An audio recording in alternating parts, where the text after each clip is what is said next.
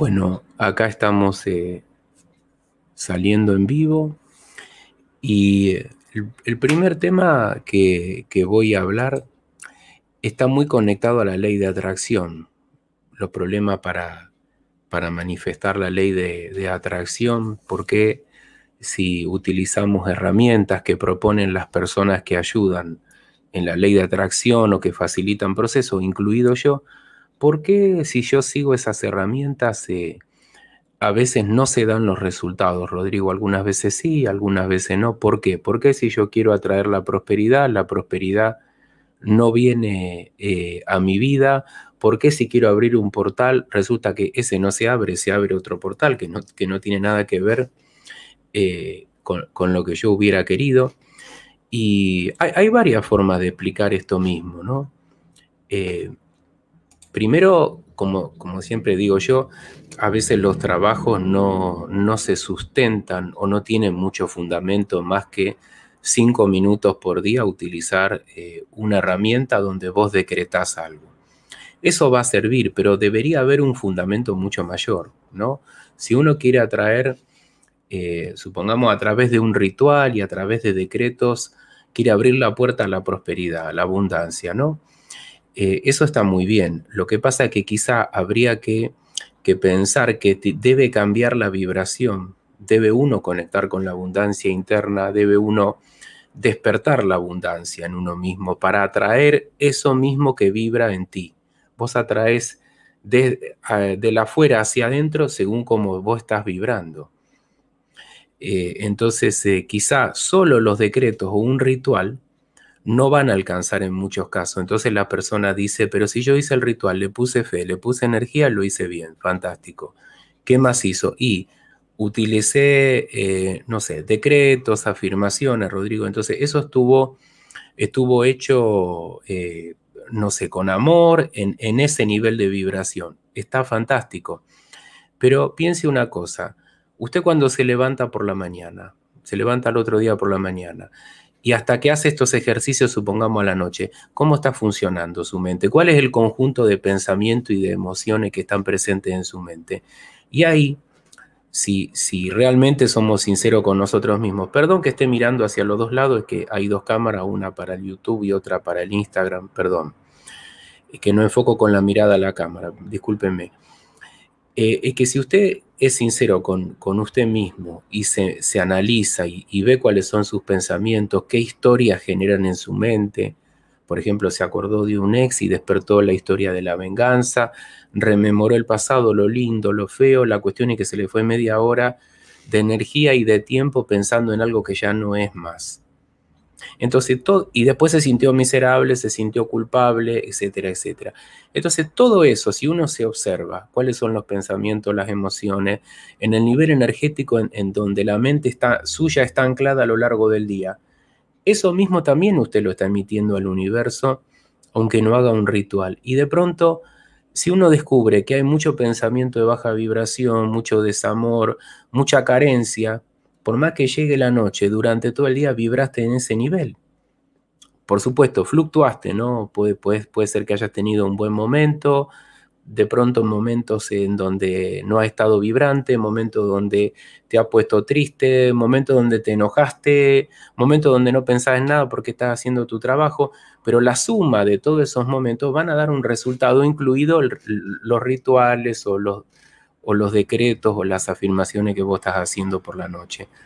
Entonces, eso es lo que va a generar eh, un impacto en el universo donde el universo te va a devolver lo mismo que en todo caso que vos estás emitiendo, no como un premio o un castigo, sino porque tiene que ver con aprendizajes, ¿no? Si el universo te devuelve algo y vos decís, mire, no me resultan los rituales, eh, todo está mal, las cosas no funcionan, no hay abundancia, bueno, esto te lleva a estar incómodo y cuando uno está incómodo puede empezar a pensar en, alternativas, en camino para salir de, esa zona de, confort y empezar a entender, bueno, a ver, dejo de pedir en el afuera y también voy a empezar a trabajar un poco el adentro. No, no sé si se entiende el, punto hacia dónde voy. otro punto importante que es eh, el postergar cosas, que, yo creo que esto le pasa a mucha gente joven que está aprendiendo cosas sobre la, ley de atracción y, es gente muy joven y por supuesto que, que, está muy bien, ¿no? Pero de pronto tienen una visión en donde uno aplica un ritual o una técnica de la ley de atracción y a partir de ahí tu vida va a cambiar de la noche a la mañana.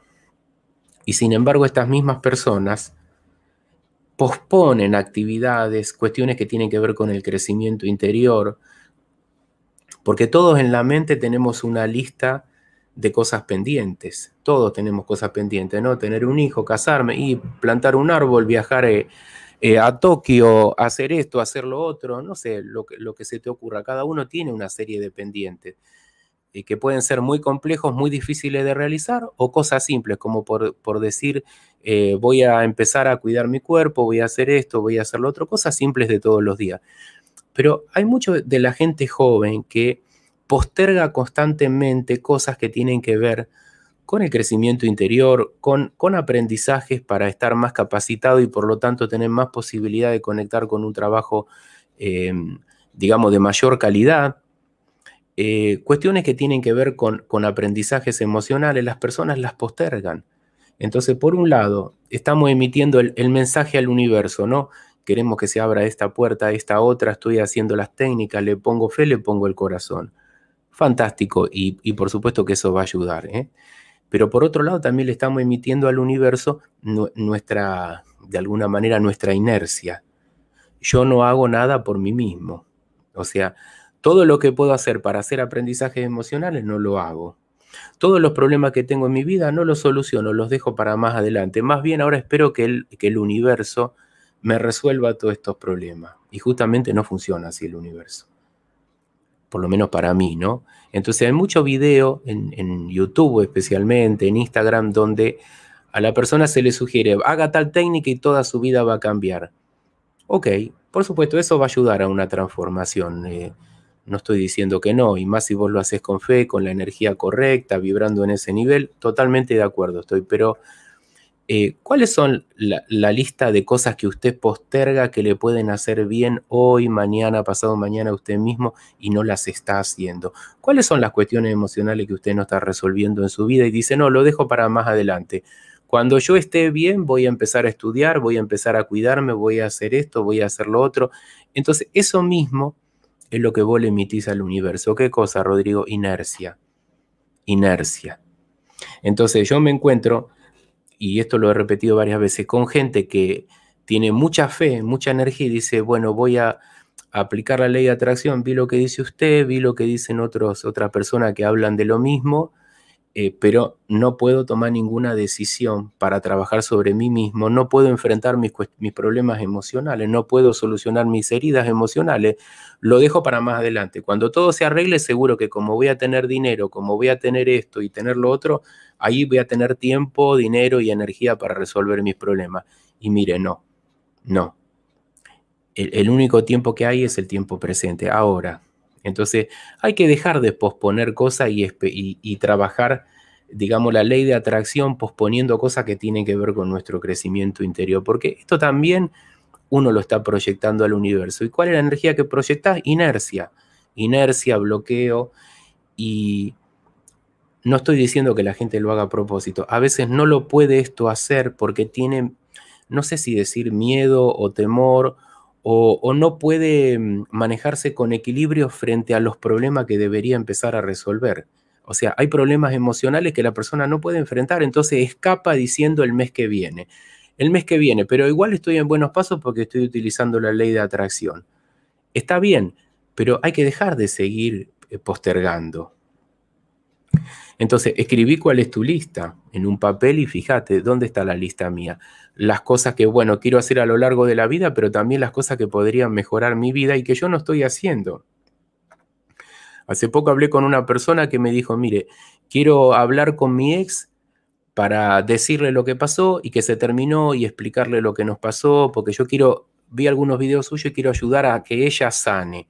Ok, ¿y cuándo lo va a hacer? Y no se hace un tiempo que estoy dando vuelta. Entonces, cuanto más tiempo vos tardes en enfrentar, en esa, situación, esa situación, dar una explicación, ayudar a liberar a la persona, en realidad eh, no sé si decir que más daño se hace, ¿no? Pero uno con el silencio de todos los días, por no actuar sobre la vida de uno de una manera equilibrada, la otra persona se va dañando, eh, sola o solo, ¿no? Porque está esperando una palabra de paz, de tranquilidad, una explicación, un algo que le permita a la persona empezar el duelo, y vos decís, sí, mañana lo hago, la semana que viene lo hago, y al final no lo haces nunca.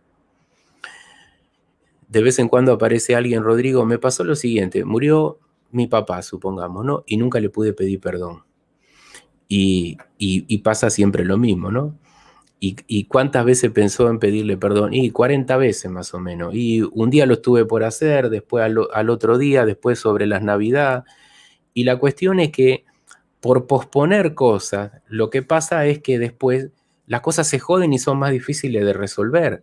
Entonces, e, entiendo que esto por ahí no es algo muy común que habla la gente de, que, trabaja mucho la ley de atracción y, ese tipo de herramientas, que yo las uso y me parecen muy buenas, pero el solamente hacer un ritual o hacer un trabajo emocional 5 o 10 minutos y después eh, estar en una zona de confort todo el día, es un problema porque muchas veces la zona de confort es muy tóxica, tú no puedes hacer nada por ti mismo, tú no puedes enfrentar los desafíos de la vida, tú no te das cuenta que se, va la vida, van pasando los, días, tú esperas la solución del universo, pero tú no te das solución a ti mismo.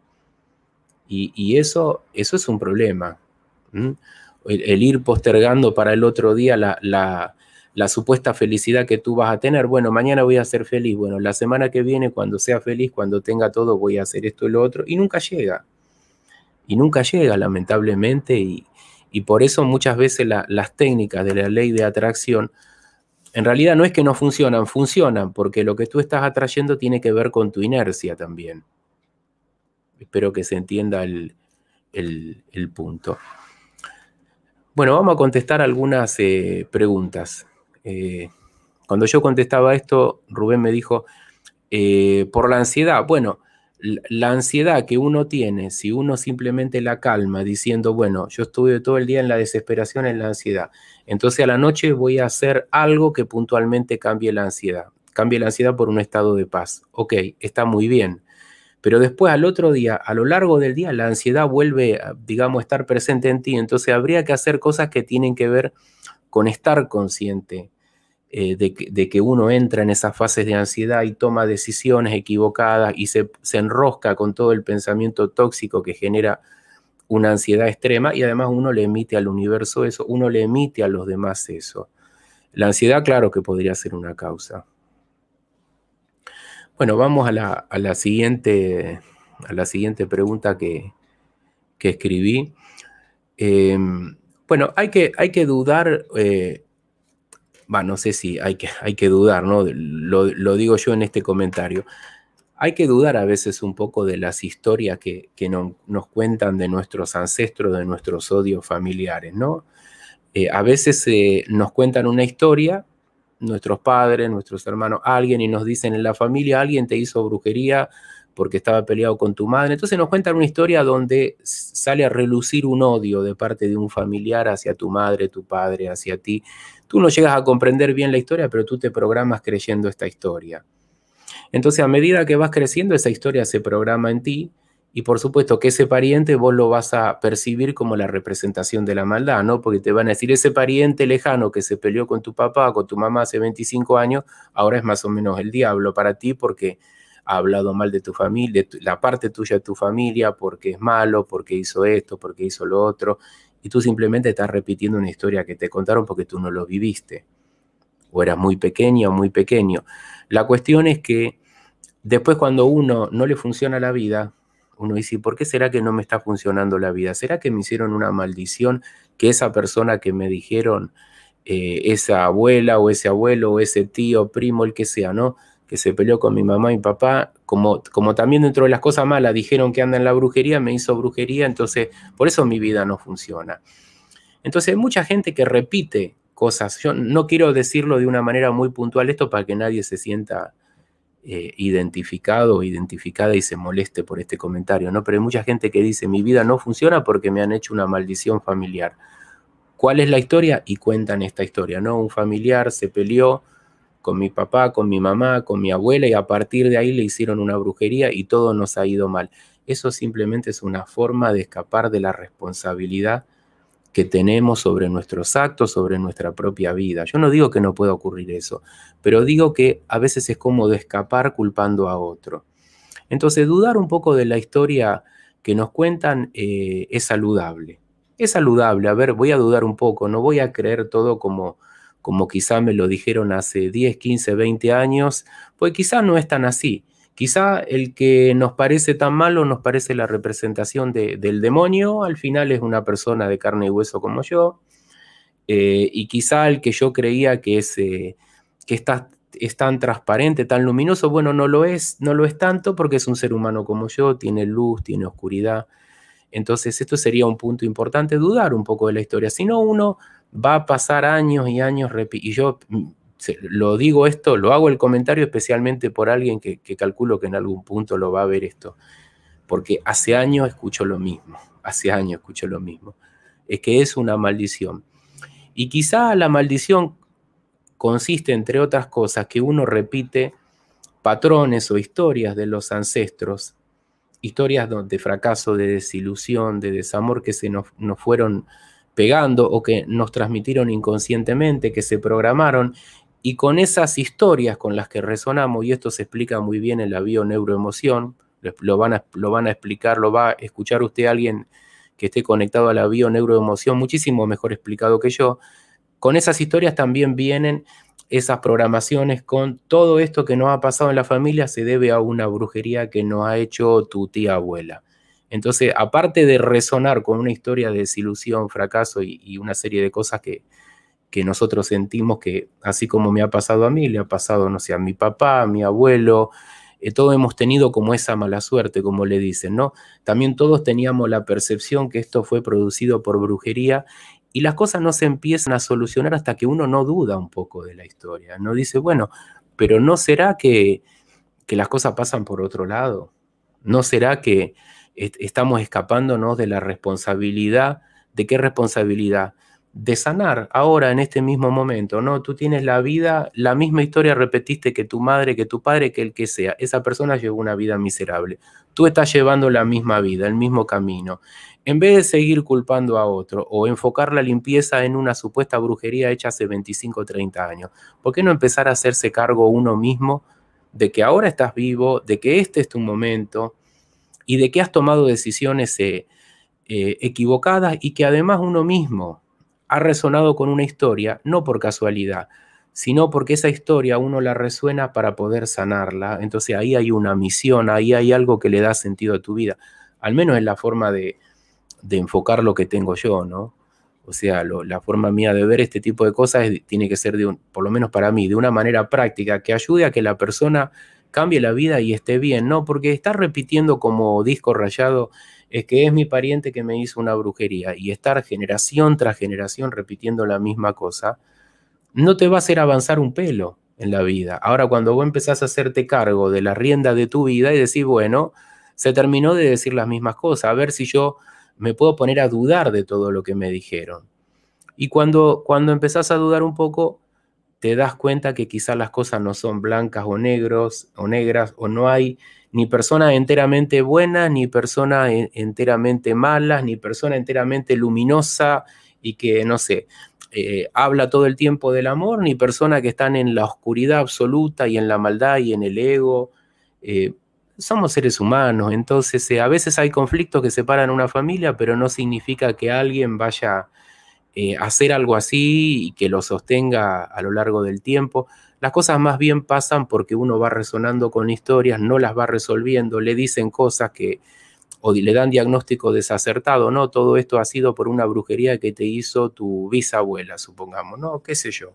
La persona que sea, uno se lo cree, uno se programa, esa programación va pasando de generación en generación. Entonces después tú tienes hijos grandes, no le funciona la vida y le vas con el mismo cuento y ese cuento le contamina la vida a tu hijo, a tu hija y no ayuda y no ayuda a evolucionar, porque eh, que te vaya bien o mal, no, no sé si decir depende 100% de ti, pero si vos cambiás la actitud, cambiás la vibración, dejas de estar culpando a los demás, empezar a, empezás a hacer cosas por vos mismo, y te das cuenta que vos eh, estás em, resonando con la historia de los ancestros, bueno, a ver qué tengo que aprender, me sano yo, sano a los que vienen después de mí, sano a los que ya se fueron, que ya no están en este plano, pero me pasa esto a mí porque es una posibilidad de sanar de toda una familia, ¿no? de, todo un árbol de, ancestros, ¿eh? porque no llegamos a una familia de casualidad.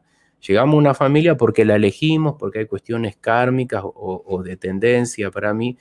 Entonces, eh, hay que intentar, no sé, comprender esto y hacerse un poquito más responsable y entender que lo que le pasa a uno, en vez de decir, bueno, em, en vez de quejarme y estar como una víctima eh, andando por la vida, bueno, que todo esto me sirva para sanarme, para ayudar a, provocar sanación en mis ancestros, en, en los que están por venir. Al menos ese repito, es el enfoque que, le doy yo. A ver, vamos a leer algunas preguntas del, YouTube. A ver. A ver, a ver. Miro las preguntas, ¿eh? A ver, permítame un poquito. Bueno, a mí me dijeron que mi tía me hizo brujería, pero ya falleció. Se llevó todo. Y acá te, digo lo mismo, eh, Gregor, que me, estás haciendo la pregunta por YouTube, hay que dudar un poco de las historias. Porque, eh, ¿sabes qué pasa? En, muchos casos, si vos escuchaste el comentario que hice, eh, tiene que ver más con creencias de hace dos, tres generaciones atrás que con cosas reales que están pasando en nuestra vida, ¿no? Vos podés decir, ella murió, se llevó a la brujería, quizá nunca hubo brujería.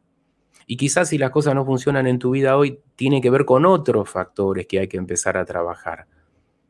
Pero si vos, eh, supongamos, empezás a, asustarte y a decir eh, o, alimentar tu miedo interno en función de todas las cosas que te dijeron y empezás a decir, es que es mi tía, es que trabajaba, no sé, con alguien que trabajaba la energía del cementerio, que me hizo magia negra, que estoy maldecido, ahí vos le estás dando poder o estás creando, estás, estás alimentando, digamos, eh, como decir una entidad o un egregor, lo estás alimentando, lo estás creando con tu propia mente, en vez de decir, bueno, a ver, se terminó de repetir esto, me hago cargo de mi propia vida, me hago cargo de mi propia vida, de mis decisiones, de mis errores, de mis defectos, de las cosas que se han dado en todas las generaciones de hombres o de mujeres en mi familia que no me gustan, que yo eh, me pasa lo mismo, bueno, yo puedo cambiarlo. Ahora, si vos te das cuenta de todo esto, puede ser que lo puedas cambiar.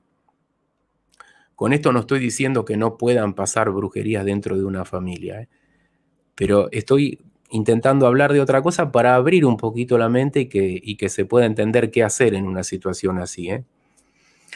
Quería pedirle disculpas a una persona una vez y me costaba mucho y ya di tantas vueltas que luego fue muy tarde para el postergar el cómo lo iba a hacer.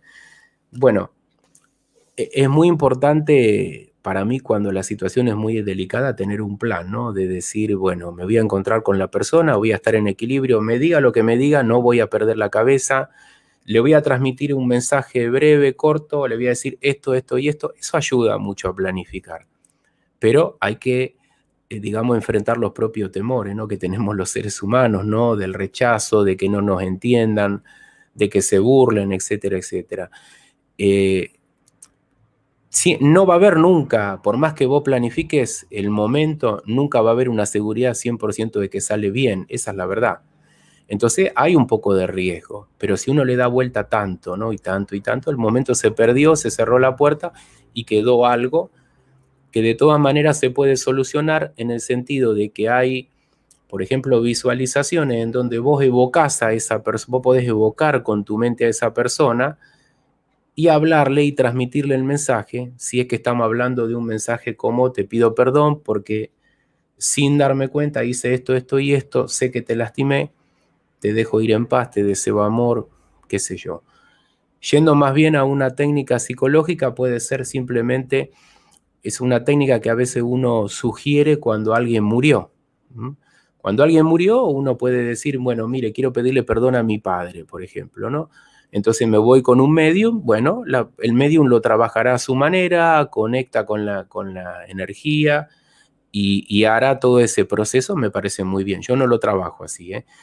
Se le puede sugerir a la persona lo siguiente, cierre los ojos, siéntese, tranquilo, baje las luces, música suave, ponga alguna vela, pida la protección del universo, ponga una silla vacía frente a usted. Medite 5 o 10 minutos y lo que hay que hacer es lo siguiente.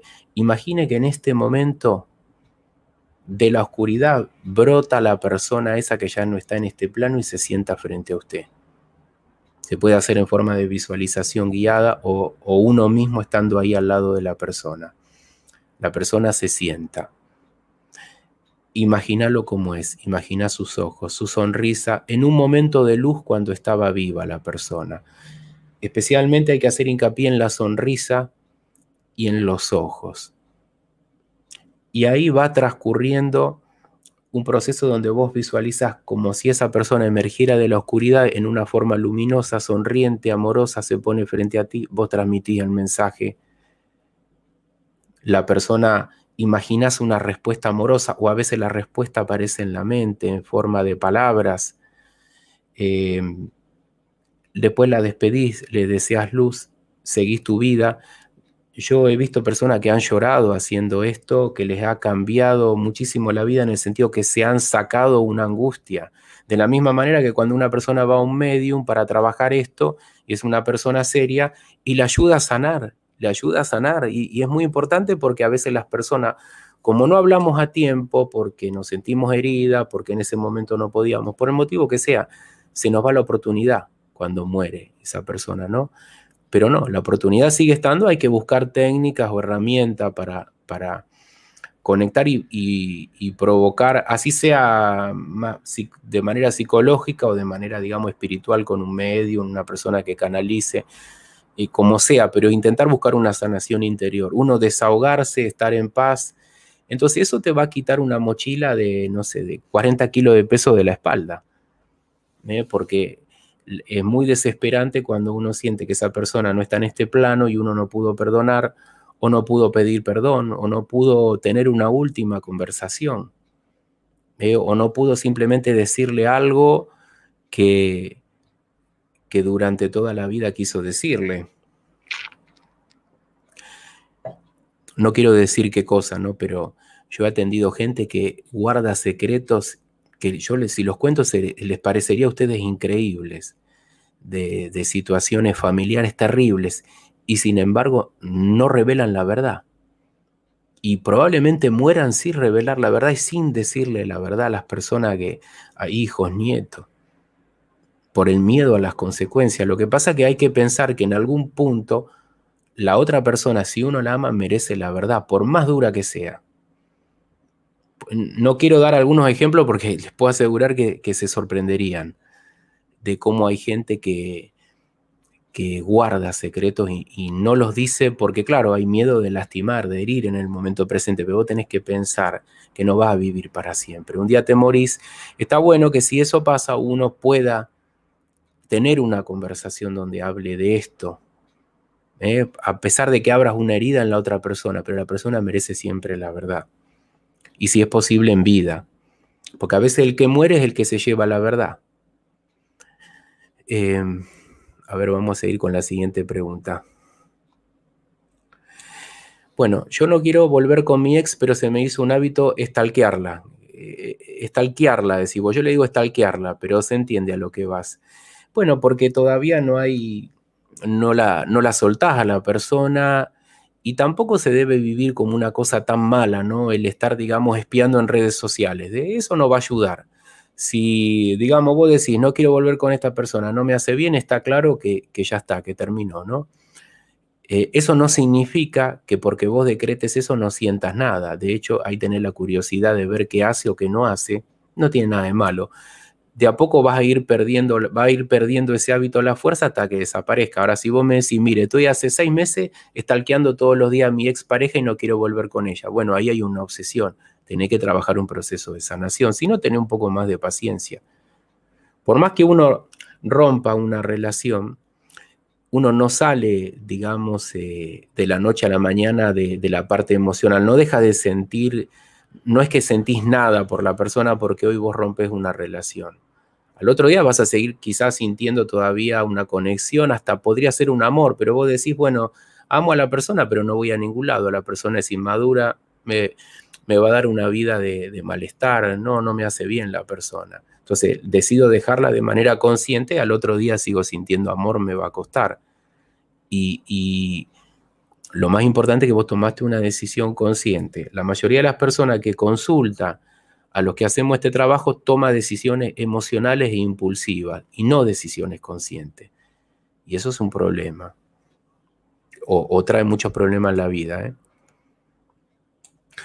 Eh, Marcela, yo creo que posponer las cosas mínimas de la vida hace que uno no se valore primero en uno. Sí, yo estoy de acuerdo, pero la gente no puede ver eso por el bloqueo de uno mismo, es difícil no poder manejar eso.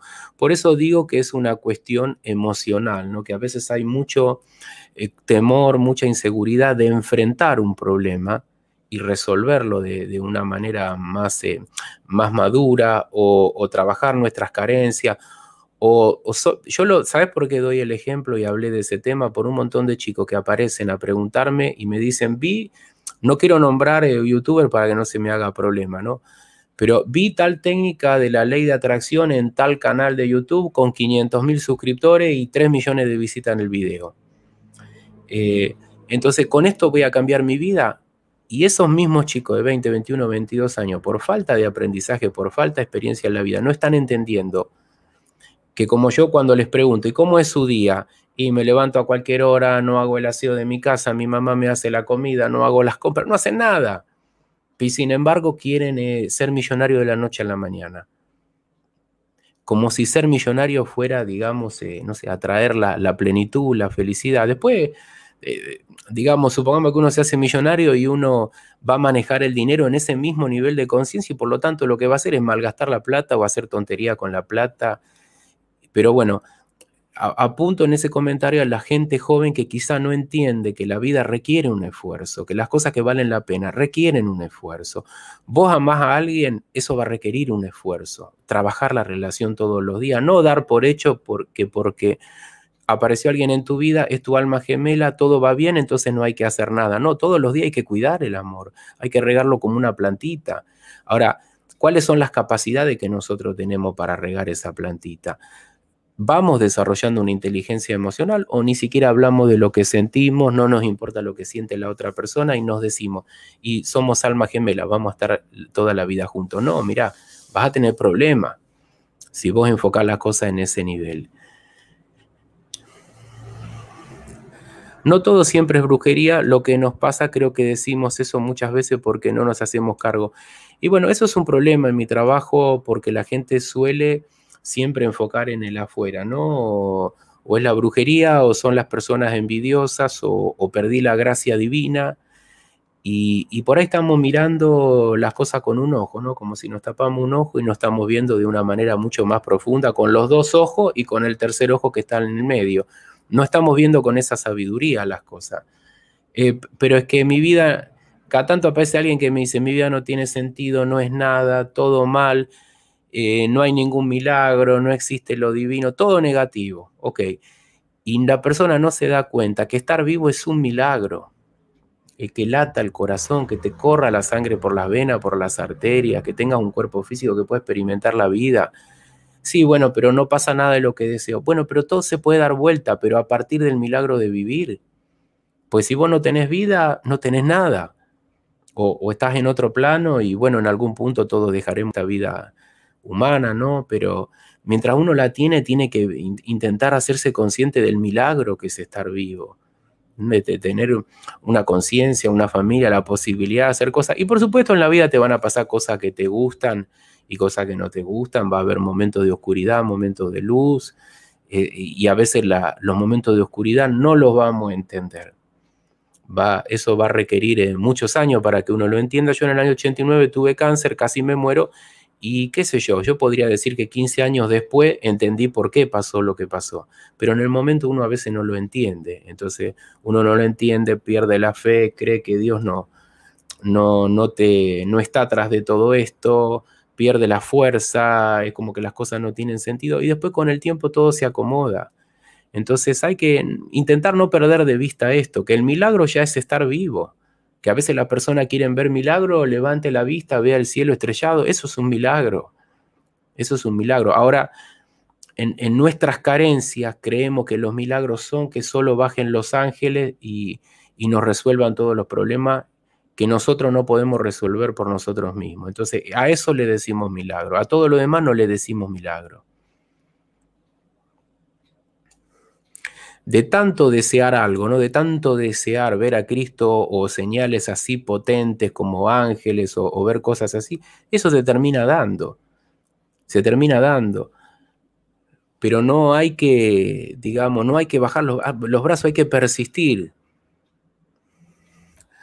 Rodrigo, lo arruiné con una chica amarres, bueno, tantos brujos. Claro, lo que pasa es que cuando se hacen tanto trabajo, tanto movimiento de energía hacia una persona, eh, el resultado suele, suele ser eh, muy confuso, ¿no? Puede pasar cualquier cosa, porque cuando uno le envía una muy mala vibración, después otra cosa en otra sintonía, después un amarre, después esto, después lo otro, eh, además uno está mal. Y bueno, toda esa energía, quizá la otra persona te quiere, tiene conexión, le llega todo esto más y vibra abajo, y suele suceder que no le hace bien a la otra persona. ¿Qué me recomienda hacer? Nada por un tiempo, nada. No, nada. Nada, simplemente enfocarte un tiempo en ti, en tu energía, en tu mente, en tus emociones, en tu camino, pero no hacerle más nada a la persona porque has estado desacertado mucho tiempo. Y quizá dentro de toda esa cosa que hiciste, bueno, puede ser que haya habido algunas que estuvieron bien, ¿no? Seguramente. Pero quizá en este momento, después de tanto movimiento, yo te diría que ponga los pies sobre la tierra, te enraíces, como le digo yo, y enfócate en vos. Basta de mover energía o hacer rituales hacia alguien. Empezá un poquito con vos porque ya has hecho muchas cosas. A ver. RR eh, de Ninja.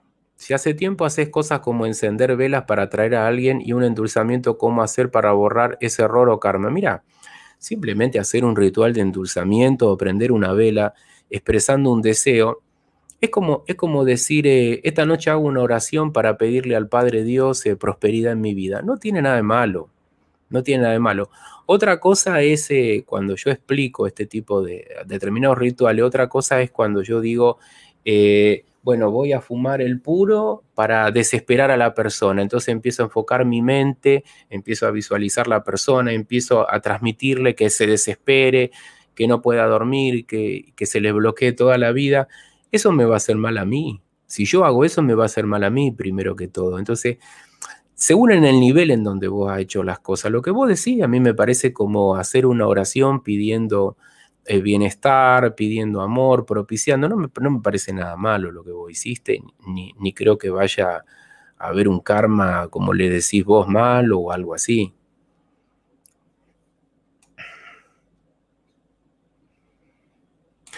Él era mi marido y yo lo amaba, pero él se fue con alguien más, pero creo que eso estuvo muy mal, ahora ellos son tan juntos, yo estoy sola aún después de seis años.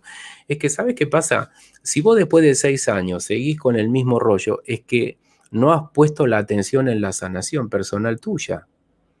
A través de un montón de caminos, porque no estoy diciendo que yo sea el único que se dedica a eso. Yo creo que en Instagram y YouTube pueden encontrar a cientos de personas que proponen caminos para sanar eso. Pero en estos seis años, si pasan los seis años y vos seguís prendiendo una vela por este asunto, es por supuesto que eso en ese sentido no es que está mal, pero te va a bloquear porque lo que vos tenés que hacer es buscar sanar y terminarla con esta persona. Eh, si la persona se fue con otra mujer o con otro hombre, cualquiera sea el caso, tu, esposo, ¿no? Si se fue con un hombre o con una mujer, lo que sea, eh, se fue porque las cosas no funcionaban entre ustedes.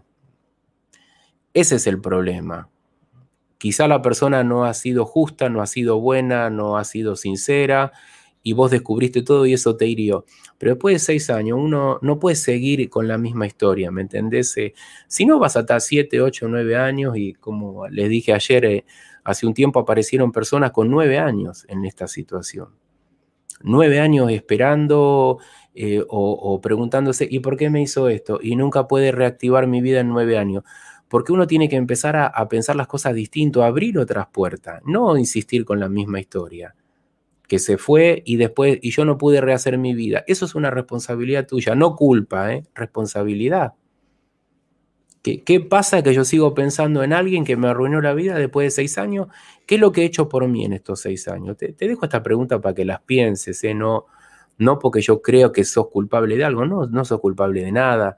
Simplemente creo que es momento como de despertarse y dejar de añorar a alguien que evidentemente no te ama y que probablemente se haya portado muy mal contigo y, no te mereces a alguien así. ¿eh? ¿Sabes por qué? Porque después de sufrir seis años, parece que vos te mereces otro tipo de persona. A ver. Las horas invertidas significan una señal mala o son otro tipo de horas espejo. Mira, yo, yo no tomo ninguna, ninguna hora espejo eh, como, o ninguna señal del universo, o ninguna carta del tarot, por ejemplo, como algo malo, ¿no? Sino como, como un mensaje que uno tiene que decodificarlo, que propone un cambio, que propone un aprendizaje, que propone una señal. Si, si vos decís, como, como, me pasó, ¿no? Si vos decís, eh, esta noche soñé con una serpiente, Rodrigo, y me miraba fijo, y de pronto me tragaba la serpiente, y de pronto me escupía, y vos decís, una, es una desgracia esa señal. Claro, en el contexto cristiano que te pase una cosa así, la serpiente es, maléfica y un montón de tonterías que han metido la iglesia en la cabeza de la gente, pero en los rituales yamánicos donde hay ayahuasca, muchas personas refieren la misma historia. Apareció una serpiente gigante, me engulló, me vomitó y eso es un ritual de limpieza. Y quizá eso, si vos lo soñaste, tiene que ver con alguna limpieza energética que el universo te está proponiendo en los sueños a través de esas imágenes entiendo que vos puedas decir, no, no creo lo que usted está diciendo. Bueno, todo bien, todo bien. Eh, entonces, todas las señales traen algo positivo. Lo que pasa que uno, en vez de insistir sobre lo negativo, tiene que decir, bueno, a ver, esta señal me parece que es mala, que es negativa, que esto, que el otro. Bueno, intentemos encontrar lo bueno. No, si la señal te dice algo está mal en tu vida, eh, bueno, empecemos a trabajar sobre eso. ¿Qué cosa puede estar mal en mi vida? ¿Puede estar esto? Bueno, a ver, ¿por qué está mal esto? ¿Por qué no soy feliz en este aspecto? ¿Estoy cometiendo errores? Bueno, trabajar sobre eso. Pero no entender, por ejemplo, las cartas de tarot como algo mala, ¿no? Si sale de este lado es buena, si sale del otro lado es mala. No, no es mala, trae otra información que vos necesitas saber y que te la está dando el tarotista, que la está canalizando, el tarotista te la está dando el universo y a partir de saber eso vos vas a poder tomar decisiones más inteligentes. Pero no hay carta de tarot mala. Si usted dice, y salió, como, como hoy dijo mi tía en la tirada de tarot, mi tía hace 60 años de tarotista, es de, las tarotistas de antes, tiene una forma de tirar tarot distinta a la mía. Pero bueno, muy efectiva, le sirve mucho a la gente. Eh, las cartas malas, acá sale la brujería.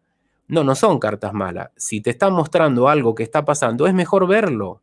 Es mejor ver y decir, bueno, no es que sea mala, está pasando esto que no me hace bien, una mala energía, listo. Bueno, ¿cómo sacamos el problema?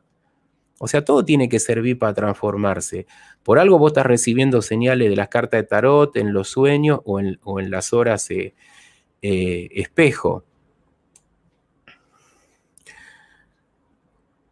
Hice un trabajo de amarre con un santero, me imagino que santero cubano, llevo 15 días. Bueno, me parece muy bien.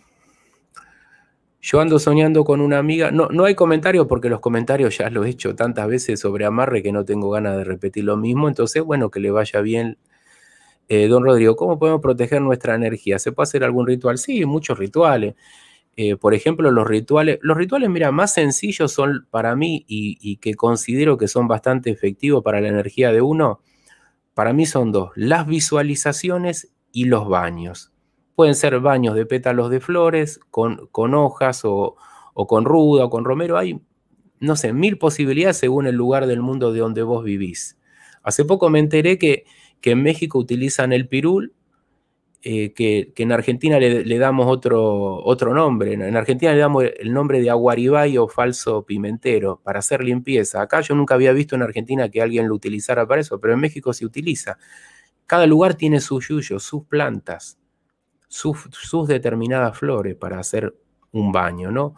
Cuando vos haces el baño, antes de hacer el baño, pedí la protección del universo y hace una visualización donde vos te conectás, no sé, pueden ser muchas cosas que puedes hacer, ¿no? Para activar el chakra del corazón, em, no sé, infinidad ¿no? de, cosas se pueden visualizar para, para sintonizar en ese nivel. Después hacer el baño, después agradecer. Y es algo bastante simple. Ahora, todo eso tiene que estar acompañado también por un aprendizaje. ¿eh? O, sea, bueno, eh, si yo siento que mi energía ha estado baja, bueno, ¿cuáles son los conflictos que han desarmonizado mi energía? Yo te diría eso, ¿no? A ver, ¿cuáles son mis conflictos que han desarmonizado mi energía? Bueno, mi baja autoestima. ¿Y por qué baja autoestima? Intentar pensar todo eso y ver cómo uno lo puede resolver. Para que las visualizaciones o las limpiezas, o si vos te haces reiki o limpieza pránica o, desbloqueo de chakras, qué sé yo, hay, habría muchas cosas que se pueden hacer. Pero cómo eso se ve complementado con un trabajo interior, ¿no? Porque si no, tu conflicto interior, tu herida emocional interior va a seguir provocando desarreglo en la energía, que, se desarmonice de nuevo. Entonces vos te curás, te sanás, hoy estás bien, ¿no? Mañana te levantás por la mañana y otra vez empezás a pensar en lo que te pasó hace cinco años y, y sufrís y lo volvés a vivir como si estuviera pasando hoy. ¿Y qué va a pasar? Que al rato tu energía no va a estar bien y que al final del día va a estar bloqueado, no sé, tu, tu chakra del plexo solar, por decirte algo, ¿no? Entonces vas a sentir como una piedra en el, en el plexo solar, eh, o sea, como, como vas a sentir dureza, vas a digerir los alimentos, te va a costar eh, hacer la digestión, te va, a costar, te va a costar expulsarlo, no sé, vas a retener líquido, se puede pasar un montón de cosas, ¿no? Porque todo es una unidad, el cuerpo físico, la energía, la mente, las emociones, todo es una experiencia. Nosotros nos identificamos con un cuerpo, pero en realidad somos una experiencia, somos una conciencia o un espíritu, como usted le quiera decir. Yo prefiero decirle conciencia, que hacemos una experiencia de tener un campo energético, eh, un cuerpo físico, órganos, emociones, y todo está conectado. Entonces, donde se te desarregla algo por un lado, va a afectar negativamente lo otro y las cosas que están bien van a afectar positivamente. Lo que pasa que a veces se, desacomodan dos o tres cosas y, cada vez el problema se nos hace más grande. Entonces queremos resolverlo, supongamos, eh, por lo energético, pero nuestra mente genera todo el tiempo, sigue generando sufrimiento, sigue generando problemas. Entonces, bueno, está muy bien lo energético, pero hay que ver cómo calmamos un poquito la mente, porque tanto pensamiento se termina generando otra vez problema, otra vez eh, eh, desarmonía o desequilibrio. ¿Qué significará soñar eh, a tu ex pareja, a tu, a tu pareja con su ex desnudo los dos? Los temores de uno, los miedos de uno. Los miedos de uno, los temores de uno. Eh, que dos personas aparezcan desnudas sin tener sexo en un sueño significa, la desnudez significa yo me desnudo frente a ti, te revelo quién soy, significa una comunicación íntima, una, una comunicación amorosa, confianza. Cuando dos personas se desnudan es porque tienen confianza. Entonces quizá tiene que ver con los miedos, con los temores tuyos, ¿no? Porque vos decís, Sonia, mi pareja actual con su ex desnudo los dos. Quizá tiene que ver con sus miedos, porque, con tu miedo, porque ellos se hablan, quizá, o vos crees que se hablan y está todo bien entre ellos. Por eso, puede ser que, tenga que ver con eso. Eh, ah, y antes me dijiste lo siguiente, yo ando soñando con una amiga y mi esposo me engaña con ella en mis sueños. Bueno, acá me relatas un sueño que es parecido, que tiene que ver, que tiene que ver con tus miedos, con tus miedos, con tus inseguridades.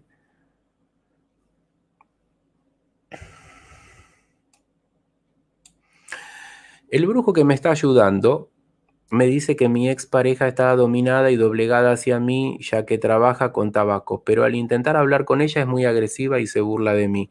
Y, yo, yo pregunto algo, Logan Quintero, eh, amigo, y si vos encargas un trabajo, ¿no? Donde vos le pedís al brujo esto, ¿no?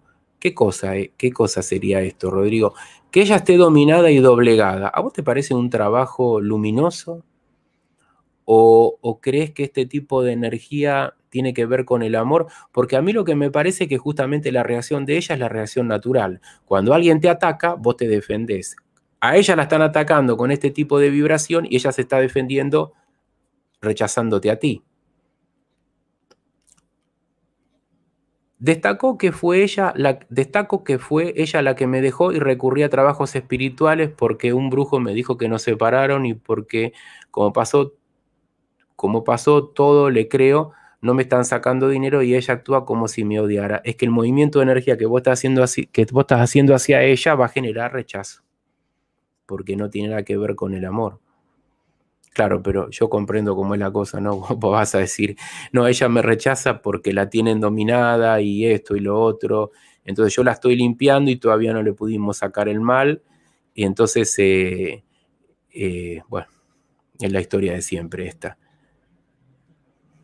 Yo creo que si vos decís, eh, estoy trabajando con esta persona porque la elegí, tenés que trabajar con esa persona y, está bien y todo lleva a un aprendizaje.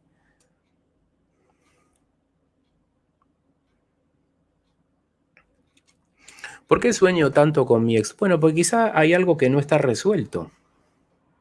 Hay alguna cosa que no está eh, todavía resuelta con, con tu ex, ¿no? Quizá quedó algo por decirle, quizá quedó algo por sanar, quizá quedó eh, pendiente pedir perdón, perdonar, quizá todavía hay una conexión energética, lo que pasa que depende de muchas cosas, ¿no?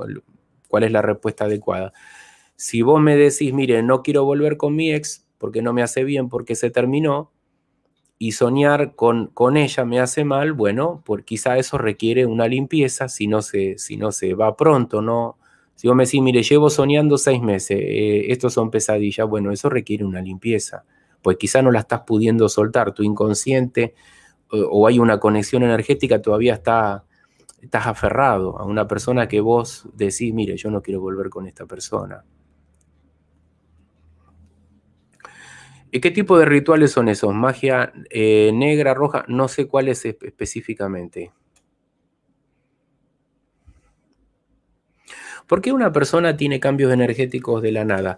A veces por problemas emocionales. A veces puede ser porque entró una energía. Eh, hay cosas que son muy sutiles, muy, eh, muy sutiles de observar. De pronto una persona está bien, ¿no? Está bien, está bien y suponete el siguiente ejemplo, ¿no? La persona de pronto parece como que está evocando algo en la mente y vos entras en la mente de esa persona y resulta que esa persona volvió años atrás en el pasado cuando tuvo tal o cual problema con su expareja, a la cual nunca superó, a la cual nunca perdonó, y la persona empieza a sentir un montón de emociones que tienen que ver con el enojo, la venganza, la frustración, se siente culpable, entonces, ahí en cinco minutos vas a tener un cambio energético en la persona y hasta un cambio en el rostro. Por ahí la persona estaba alegre, de pronto se puso a mirar el horizonte, empezó a pensar, empezó a generar emociones, a contarse una historia, empezó a alterar su energía.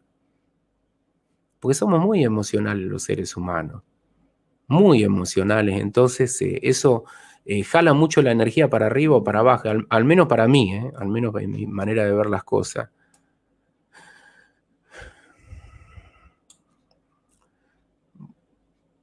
Bueno, vamos a la, siguiente eh, pregunta. Em, bueno, hay personas que, que te piensan durante años y te desean el mal durante años. Esto es una respuesta a un muchacho argentino, ¿no? Y, y, te desean que te hundas, que te jodas, que no seas feliz. Y esto puede afectar, mira, de alguna manera sí, especialmente si uno todavía tiene una conexión energética con la persona si tiene cosas no resueltas y además si uno tiene algunos problemas vibratorios. O sea, que alguien, vos imagínate que alguien mañana, tarde y noche te esté pensando y te diciendo, Rodrigo, ojalá que te hundas, ojalá que te pase esto, te pase lo otro, y le pone emociones y visualiza, no sé, mi destrucción todos los días, mañana, tarde y noche. Eso es una energía y en sí también es una forma de, de magia la visualización. Ahora, es, como, es como la gota que pega contra la piedra. La gota pega contra la piedra mañana, tarde y noche, meses, años, termina socavando la piedra, la gota de agua. Esto es lo mismo. Lo que pasa es que eso va, va a seguir socavando la piedra si vos eh, vibras bajo, si vos no estás haciendo algo que tenga que ver con tu crecimiento interior, por sanar tu energía. Si vos estás en un nivel de vibratorio muy bajo y no para de pensar en, por ejemplo, en tu ex y tu ex te quiere destruir, y mañana de tarde y noche eh, sueña con que, no sé, que te pasan las peores cosas, bueno, eso puede afectarte. Y de hecho eso afecta a mucha gente. Porque hay una conexión. El que odia eh, está conectado a ti. Si tú todavía amas a alguien y esa persona te odia, los dos tienen una conexión que es muy intensa. Por donde tú, tú dices, no, yo por, el, por el, puente ese de conexión energética que dice usted le mando amor. Sí, pero la persona te manda eh, odio, te manda lo peor de lo peor.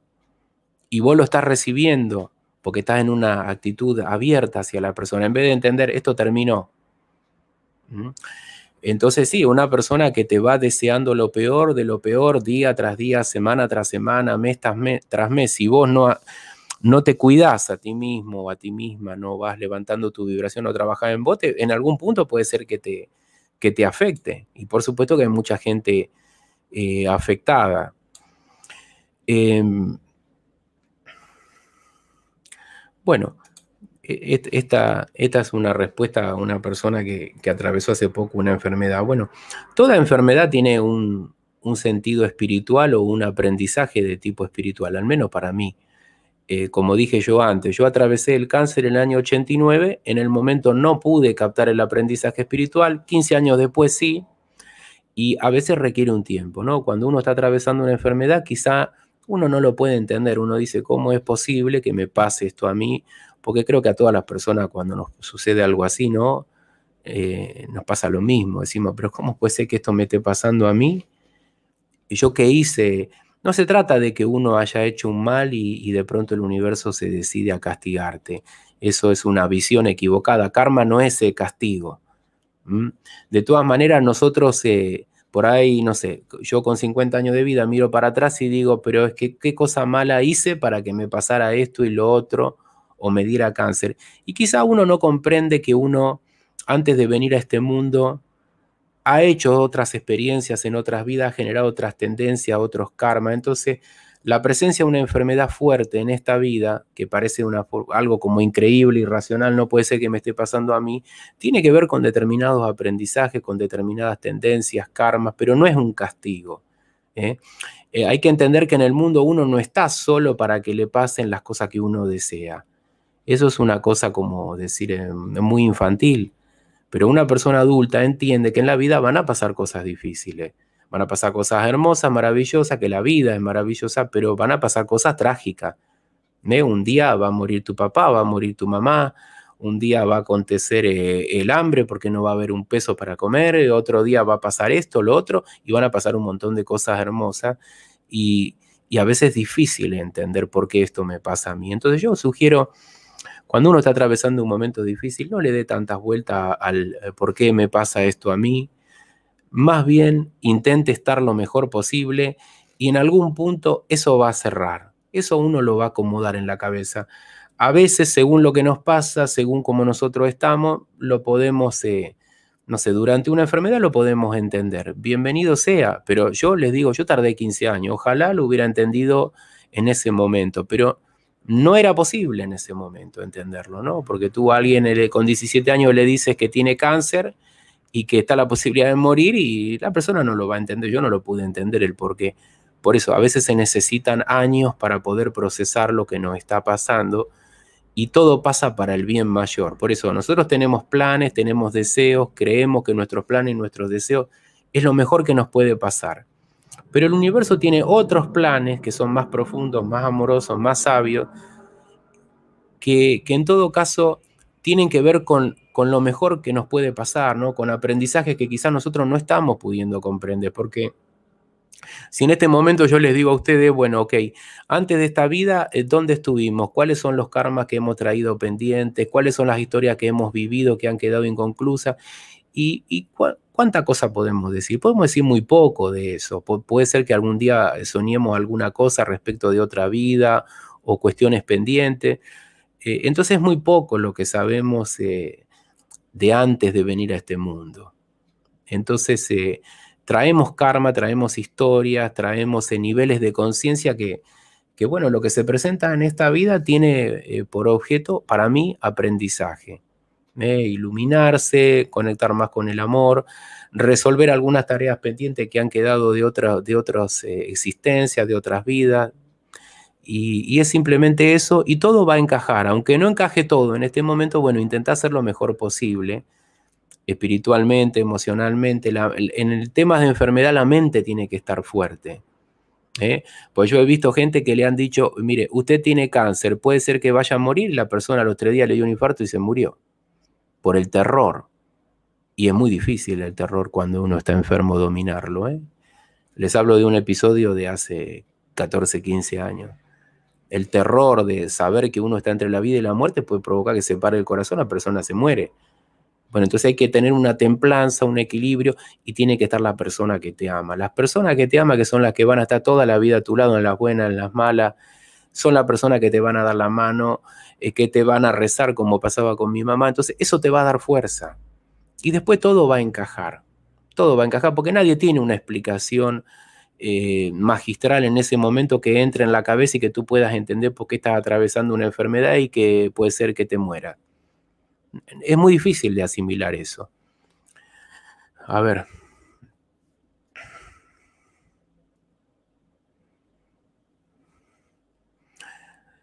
Ligadura es como un amarre, es, un trabajo para ligar eh, o, para amarrar para mí.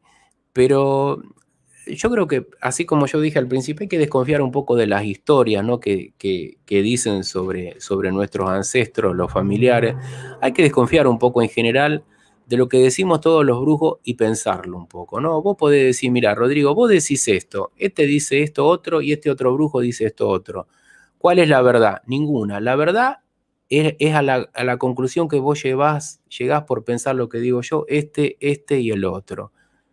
¿Me entendés? Entonces, a veces hay que dudar un poco e intentar eh, por uno mismo resolver las cosas, no esperar, a, digamos, la facilidad de las preguntas, las respuestas fáciles. Hay que intentar pensar. Entonces, cuando uno le da vuelta a las cosas, se da cuenta de, de que en este mundo de los brujos, brujas, personas que ayudamos la magia, hay mucha gente ignorante, hay mucha gente que tiene problemas porque proyecta su propio conflicto sobre el prójimo, hay mucha gente que tiende solamente a culpar a la brujería de todo. Entonces, eh, va a llegar a esa conclusión, yo te lo aseguro. Y en vez de estar pensando en, ¿me hicieron una ligadura o no? Si puede ser porque yo tengo todos los síntomas, pone la energía en transformar tu vida, no en, en alimentar la idea de una ligadura. Porque aunque no haya ligadura, la estás creando vos con tu mente.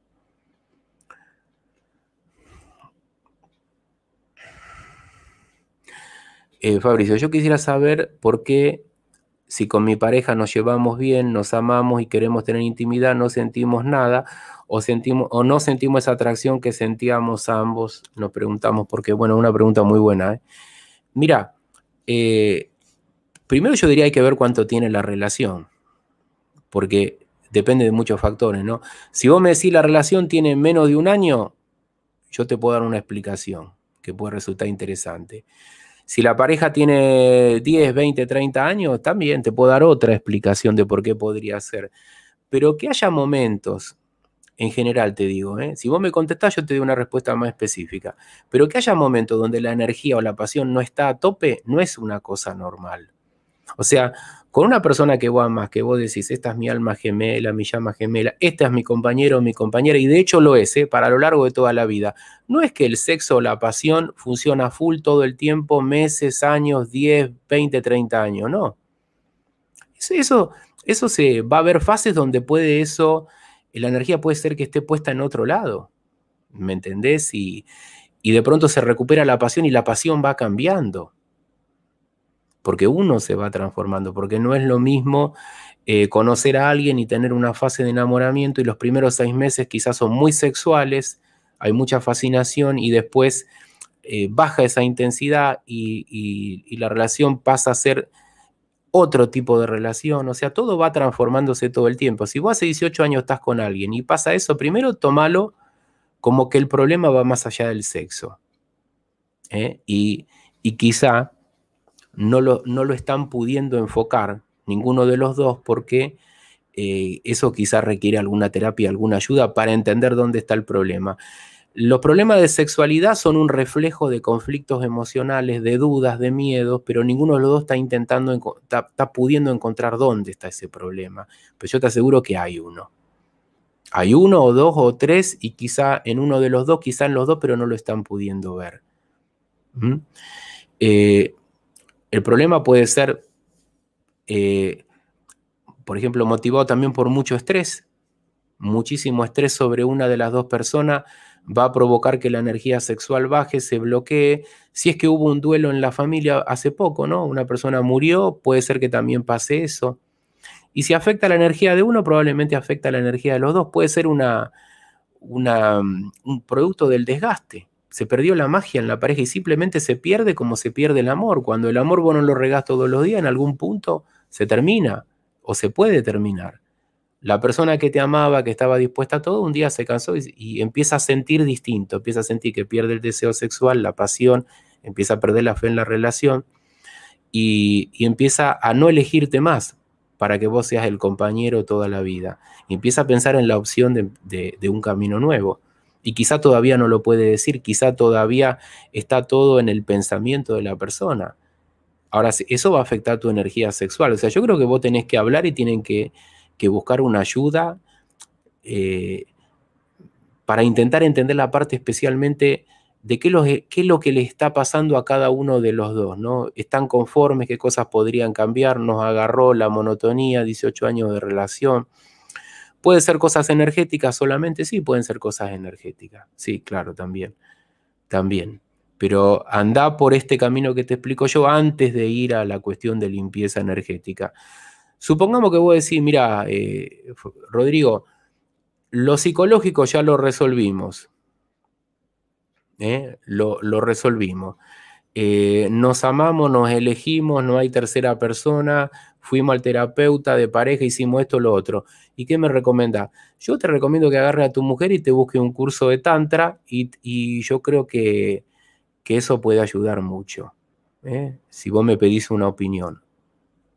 Entonces, buscate un curso de tantra, si vos te atreves a algo así, yo te puedo asegurar que eso energéticamente puede ayudar mucho a la sexualidad.